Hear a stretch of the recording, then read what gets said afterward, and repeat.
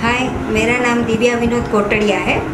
मैं दहीसर में रहती हूँ और हाउस वाइफ हूँ और अभी ट्वेल्थ का एग्ज़ाम देने वाली हूँ। टेंथ का एग्ज़ाम दिया फिफ्टीन इयर्स में और पिताजी ने कहा दो साल के बाद शादी करनी है।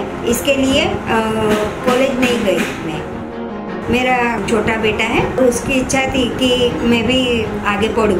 उसने मुझे संस्कृत के एग्ज़ाम दिलवाई। उसमें मुझे चारों एग्ज़ाम में 96 परसेंटेज आए और अभी मैं बारहवीं का स्टार्ट किया है।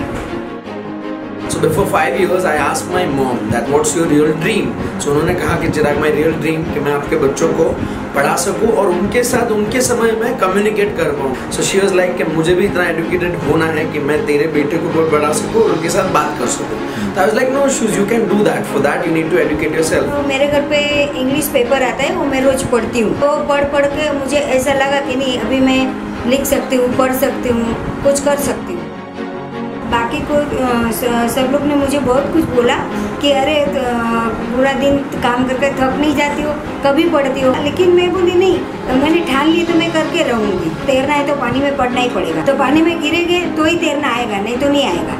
I want to tell the whole world कि if she can guys we all can मेहनत करने वालों की कभी हार नहीं होती। एक बार आगे बढ़े तो पीछे मुड़ के देखना नहीं है। आगे बढ़ो आपका काम हो जाएगा। She used to prepare for her subject for an hour but after that interview जो मेरी मॉम का टेलीफोनिक uh, इंटरव्यू हुआ म्यूज़िक uh, एफएम के through now she is feeling more responsible कि यार इतने लोगों ने मुझे सुना है so now after that interview she is sitting for three hours thank you so very much